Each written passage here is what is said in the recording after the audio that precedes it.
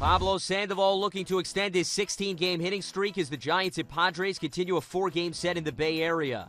Pick things up in the second. It's 2 1 Padres. Friars looking to pad their lead. Runner on third, one out. Dustin Moseley in the box. Can't pull off the suicide squeeze.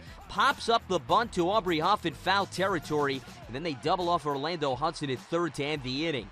Top of the fourth, it's now 3 1. Cameron Maybin on third after a leadoff triple. Jesus Guzman bringing him home. Rips one to left for an RBI double. San Diego tacks on another 4 1. Bottom of the fourth, one on, two out. Nate Schierholtz in the box, trying to spark a rally, and he takes Moseley for a long ride to right. Two run blast, his fifth of the year. Just like that, it's a one run game. We skip ahead to the eighth. It's now 5 3.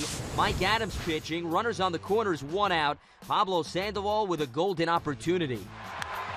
High and deep into right center field. This is hit a ton. Up against the wall. Here comes Crawford. This game is tied. Top of the ninth, Brian Wilson on the hill. Runners on the corners, two out. Ryan Ludwick with an opportunity to put the Friars in front. Not on Pablo Sandoval's watch. Lays out at the hot corner to make the robbery.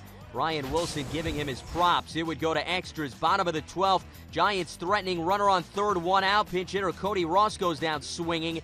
Then pinch hitter Pat Burrell pops out to short to end the inning. The bottom of the 14th. Pat Neshek on the hill. Nate Schierholtz leading off. Schierholtz. High to right, but Venable is at the wall. It is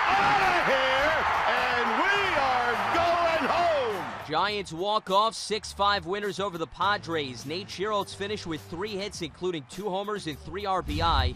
Pablo Sandoval went 2 for 5 with three ribbies to extend his hitting streak to 17 games. Six Giants pitchers combined for 19 strikeouts.